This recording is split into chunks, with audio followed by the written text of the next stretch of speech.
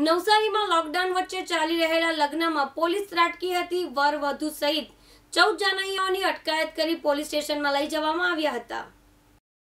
નવસારીમાં લોકડાઉન વચ્ચે ચાલી રહેલ લગ્નમાં પોલીસ પહોંચી કુલ ચૌદ લોકોની અટકાયત કરી હતી. ચીખલીના વંકાલ ગામે ચાલી રહેલ લગ્નમાં પોલીસે પહોંચી વર અને વધુ સહિતના જાનૈયાઓની અટકાયત કરી હતી. તદુપરાંત લગ્ન કરનાર બ્રાહ્મણની પણ પોલીસે અટકાયત કરી હતી.